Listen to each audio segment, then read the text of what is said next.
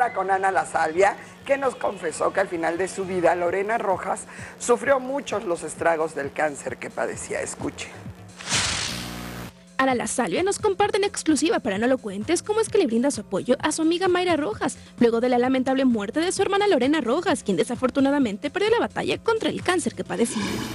Sí, a Mayra le he hablado y le he dicho que le apoyo, que está, me dice que gracias Anita, pero no hay palabras que puedan apoyar o ayudar a alguien. Entonces nada más le escribo, le hablo, le echo porras, ánimo, hasta que pase su duelo. Pero sí, tiene todo mi apoyo.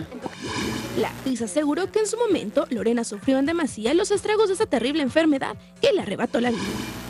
Tenía mucho tiempo luchando contra el cáncer, creo que vaya, es una chava que sí sufrió muchísimo, lo siento que no se merece sufrir tanto, pero vaya, está ahorita en un mejor lugar y, le deseo lo mejor. Vaya, qué lástima que, esa enfermedad ha atacado mucho de nuestros compañeros, de hecho. Unos han salido, otros no, pero bueno. Es por ello que han invita a todas las personas a realizarse constantemente chequeos médicos y evitar cualquier tipo de padecimientos.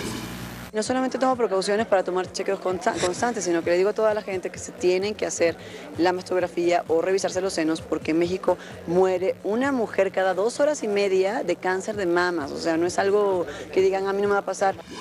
Por último, dejo este mensaje a todas las adolescentes sobre la autoexploración.